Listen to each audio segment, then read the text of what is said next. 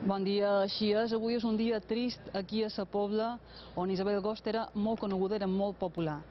Uh, ahir es va conèixer que ella anava a bord d'aquest avió sinistrat, però avui s'ha confirmat la pitjor de les notícies. La companyia ha fet públic aquest comunicat en què diu que no hi ha supervivents i per tant avui s'ha conegut de manera ja eh, definitiva la mort d'Isabel Gost i això ha teat el darrer fil d'esperança de la família.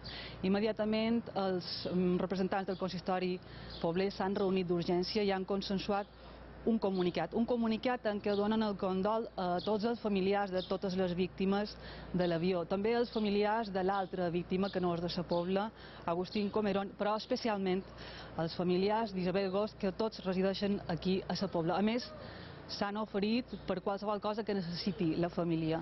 Uh, aquest dia de tristesa també s'ha viscut a Marratxí, d'on era l'altra víctima mallorquina, l'extremeny pilot Agustín Comerón els veïnats de sa Pobla no se'n poden avenir. La copilot Isabel Gost era molt coneguda al municipi, també la seva família, que resideix des de sempre a la localitat. Era una chica bastante estupenda, era muy conocida, aquí en el pueblo tenía una guardería, muy simpática, muy buena y no sé, es una pena. Y se hace mucho con los vecinos y es bueno, una tristeza muy grande que tenemos aquí en la Puebla. Vivia aquesta casa reformada, prop del centre, i a més era propietària de l'escoleta Confits. També era habitual trobar-la berenant al bar Cristal.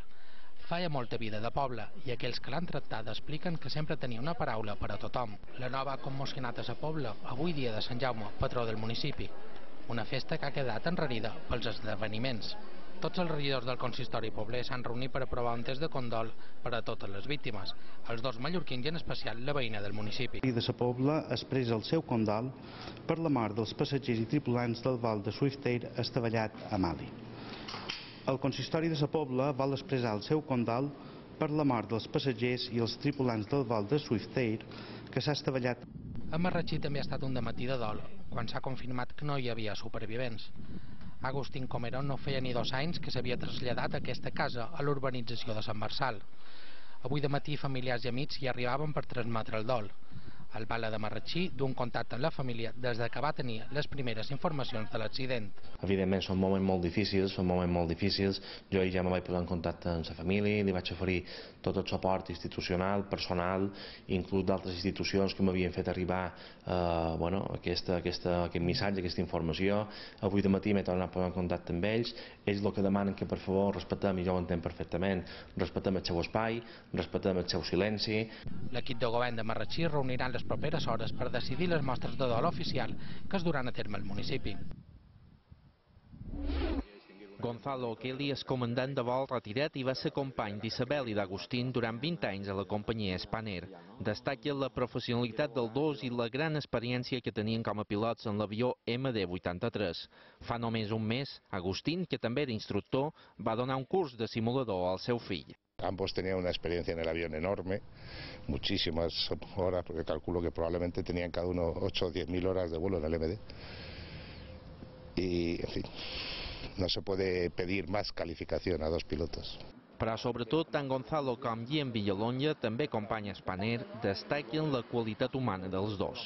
A part de ser una gran, una gran professional, era una companyera formidable. Era, una era un encant de dona. Era un encant.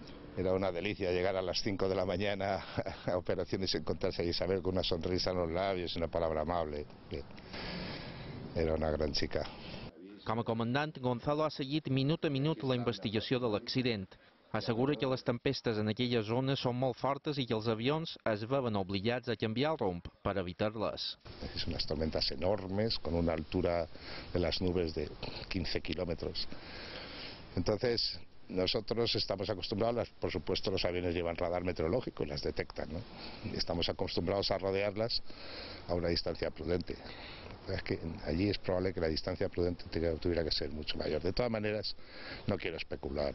També existeix un problema en les comunicacions perquè al nord de Burkina Faso i Mali les comunicacions en les torres no existeixen i els avions s'han de comunicar entre ells per evitar xocar. Ja ho heu vist, commoció avui a diversos municipis mallorquins, especialment aquí a Sa Pobla, d'on era Isabel Gost i on resideix la seva família. Avui acaben les festes de Santa Margalida i Sant Jaume i finalment l'Ajuntament ha decidit no suspendre els pocs actes que queden.